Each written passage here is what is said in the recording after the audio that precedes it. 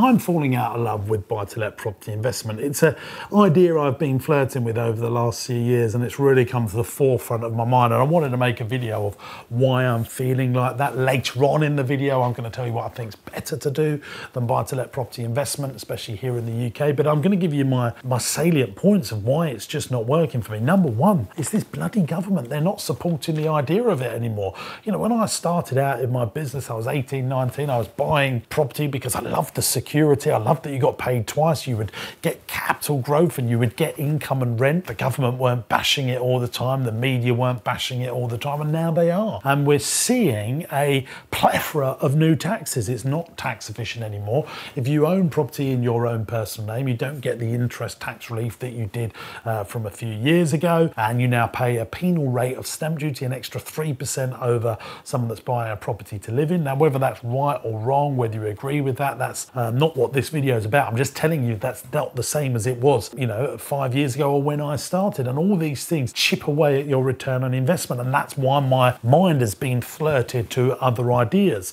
It's also bad for inheritance tax. You know, as I've been trading my business more and more. I've been thinking about this stuff. You know, I'm 37 right now and I've got kids. I think when you have kids, you start thinking about, well, I've been working really hard and what if something happens to me? You know, what's tax efficient for them? Well, if you've got residential property, it's not tax efficient should you die to pass that on. But if you have trading businesses with commercial property tied around them, that is way more tax efficient if it's a, tra- um, a transfer of a going concern to your dependents, you know, like a farm or a factory and you make stuff and you own the freehold of the factory. You can pass your kids um, that property through the trading business way more tax efficient than you can if you have residential property. So that's another reason I'm starting to fall out of love with it. I'm looking at it now and I try and make the deals stack up in terms of return on investment. You put a deposit in.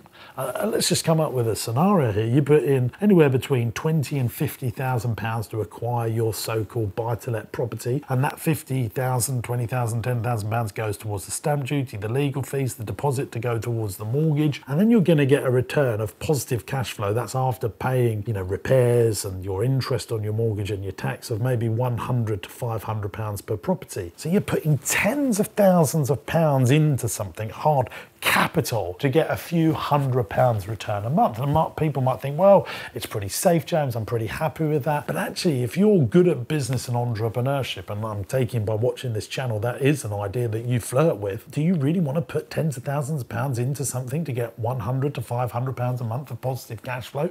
Should you be employing another person that might bring in hundreds of thousands of revenue into your business and tens of thousands of profit each year into your business?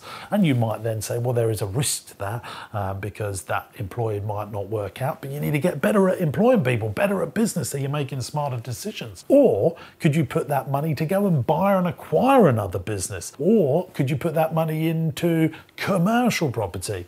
Equity. Um, this is the thing that I'm really starting to realize with my business, my property business. You know, if I've got a property and I'm selling one right now, after I've paid the mortgage, I'm going to come out with about £250,000. I used to live in it. Um, it was one of my early property purchases and I just kept it and rented it out. Um, so it's quite tax efficient the money that I'm going to get from that property. Now, I had two choices here. Do I take that money, put it into another buy to let property, or do I do something else with it?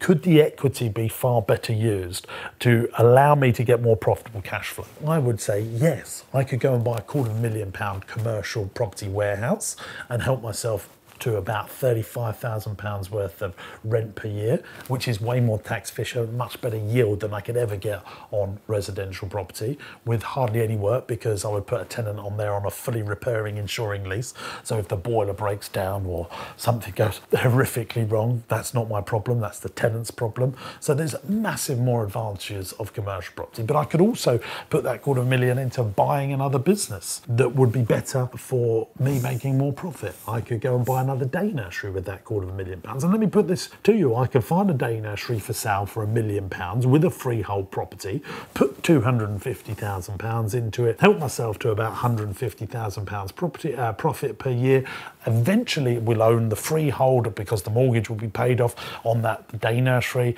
And then if I wanted to sell that day nursery in the future as a profitable going concern, I'd pay a much lower capital gains on it. Um, if you've not sold anything and you've made uh, sold a business for a million pounds, you'd only pay 10% tax on it. And then after that, you would pay 20%. Again, way more tax efficient than residential buy to let property. So that's just my thoughts on it. I'm just not into it as much as I used to be, gang. That's not saying that I won't ever do it, but it's got to be a draw droppingly good deal. In fact, I did find a draw droppingly good deal years ago. I, uh, sorry, a year ago, I bought a block of flats. I bought six flats in a flat, six flats in a block, um, and I only paid £500 stamp duty to buy that. How did I do it? Well, it's all revealed in another YouTube video that I made a year ago. You can watch it by clicking here. Um, if you've loved this video, please go and tell everyone about it. Um, like, subscribe, and do all that stuff, and I'll see you in the next video.